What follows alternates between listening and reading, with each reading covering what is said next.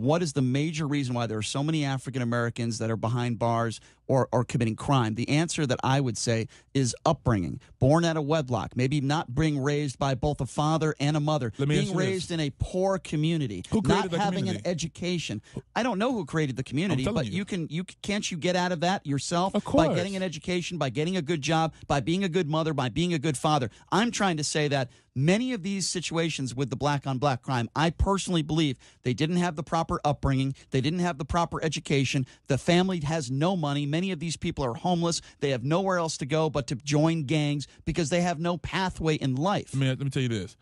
When white women want to get assistance, they can get assistance.